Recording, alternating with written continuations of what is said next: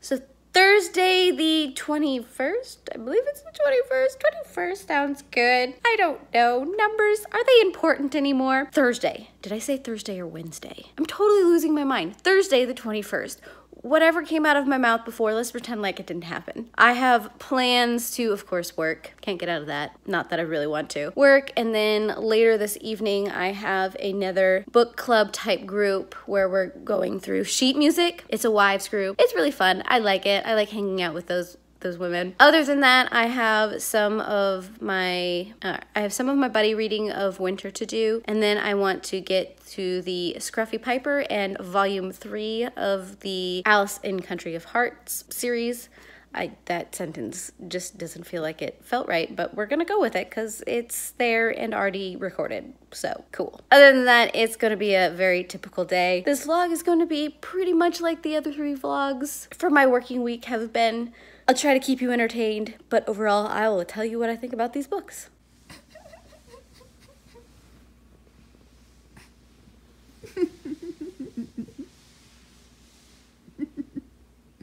the glare. So the dogs are probably the loudest eaters ever. Yeah, pretty much the loudest eaters ever. They they are they are pretty bad, but I love them anyways. But it is the end of the workday which means I have a couple of things that I've read. I finished the Scruffy Piper. I really like this one. We got to see Doctor Number Two with his little recorder. It was adorable. I really liked it, which is a little bit surprising because I haven't spent a lot of time with the second Doctor, but I still, I like this one. I then picked up the third volume of Alice in the Country of Hearts. This is probably my favorite volume so far. I think it's just because I feel like this one had a lot of development, especially character wise and story wise. You get to see a little bit more of who Alice is and who each of the characters are, what motivates them, and then Alice just wanting to make them a little bit better. And then you also get a little bit of insight of what could be going on with these games and what that all means, which leads me I have started volume four. I'm probably to fly through these because I am invested in this because I have a theory. I have a theory about Hatter and the queen and i want to see if it's valid i'm pretty sure it's it's true because the way everything has been set up especially when we got all of the backstory in volume three and how the queen was talking about how she was taken and her family and all of that kind of stuff. I have a feeling, I got a feeling that there's there's some things in Hatter's past that connects the two and I have a strong feeling and a strong desire of what I want it to be. I'm pretty sure they're siblings. I'm throwing that out into the universe. That is a random guess. That is not a spoiler. It's just how I feel at the moment, and I want to see if that's true. I'm pretty sure it is. But other than that, I do want to have a talk with you guys. A, a little, maybe a couple years ago, I started a Society 6 shop where I put out some of my suggestive book reading sayings and just put it out there for anyone who wanted to, I don't know, get shirts or whatever with them on it. I have since closed that shop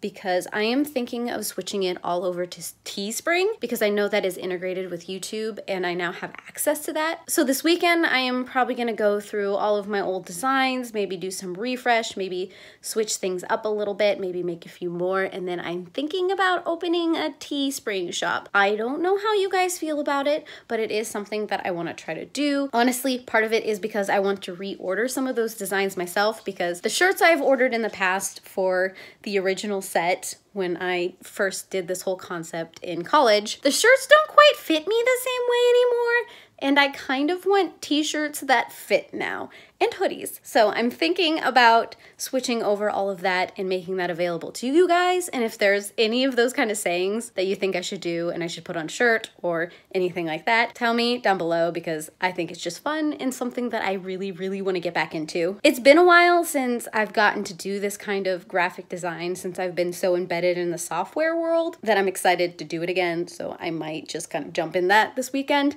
because I don't think I'm going to be able to do the DIYs I wanted to do the basement stuff is looking like it's going to take through next week which means a lot of their stuff is in the garage, which is the space I need to use to do some of the DIYs I was thinking about doing, which is painting bookshelves and things like that. So I'm gonna hold off on that, probably do the uh, Teespring stuff instead. I don't know. I think it's gonna be fun. It's something new to play around with, and I think that's why I wanna do it. We'll see if it's a good idea or not, or if it just kind of dies like my Society 6 shop did. I don't know. I'm not I'm not a huge influencer. I don't know how to do this kind of stuff. I'm not used to branding myself and selling myself, but I'm just gonna put it out there in case anybody else wants any of these kind of things. It is time for wrap up of Thursday. Now, I didn't do quite as well as I've done the last couple days. I did get into three volumes, but I didn't finish that second volume of Alice in the Country of Hearts. I, of course, talked to you about the Doctor Two Doctor Two,